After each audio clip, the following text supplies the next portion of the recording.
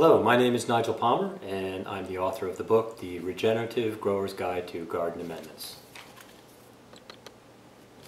This short video focuses, focuses on how to make leaf mold biology, the quintessential local biological product.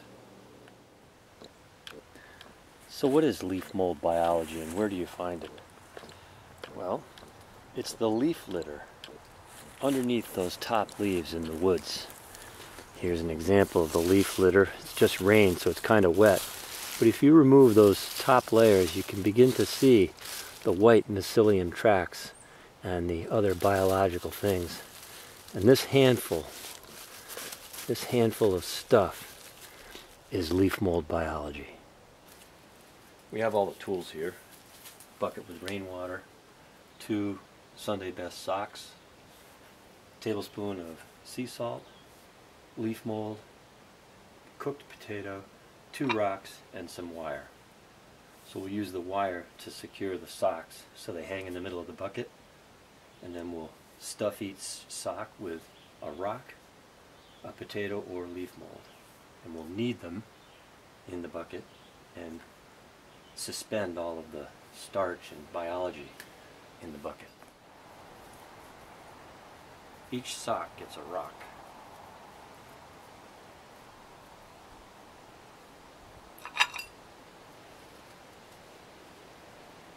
And or, or a potato and one sock.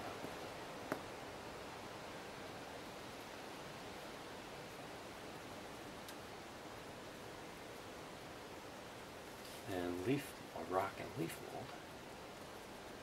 the other side.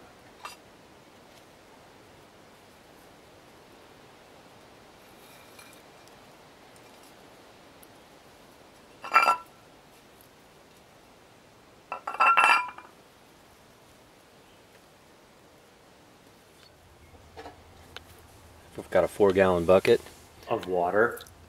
Add about a half an ounce of sea salt. This is for minerals.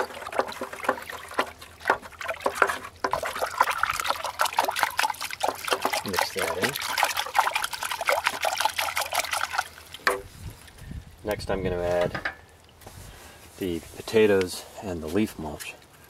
First I'm going to set up a way to hang them in the bucket.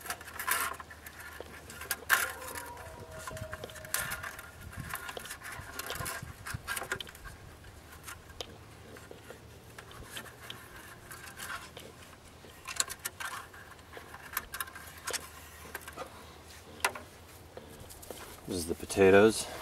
It's about an ounce, a little over an ounce of potatoes, boiled.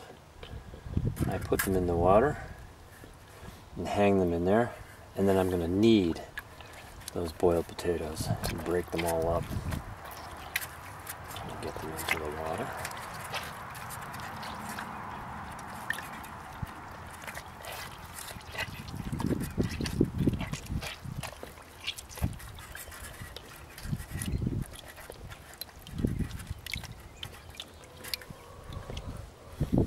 Next I'm going to add leaf mold, about a half an ounce of leaf mold. And I'm going to do the same with this. I'm going to hang it in the solution and knead the leaf mold into the solution. So the leaf mold provides the biology, the indigenous microorganisms. The potato provides the food, and we'll let this sit for several days and watch the microorganisms thrive. And lastly, we'll cover it. Monitoring the foam on the surface will give us an indication as to the life inside the bucket. Low cost indigenous microorganisms. Cover the leaf mold biology to keep rain and other things out. After 2 to 10 days, depending on the ambient temperature, the fuzz on the top of the bucket will meet, reach a maximum amount. This indicates that it is ready for use as a biological amendment. Dilute the water in the bucket with good water at a ratio of 1 to 20 and apply to the soil or the plant as needed. If the biology does decline and go away, the contents of the bucket may still be used as a mineral amendment at the same dilution ratio.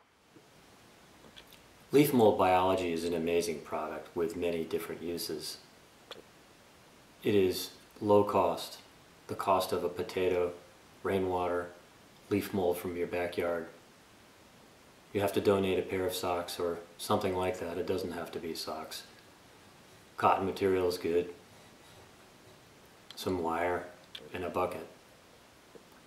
This is another example of a, an amazingly inexpensive, highly effective product that can be made to nurture your garden or farm.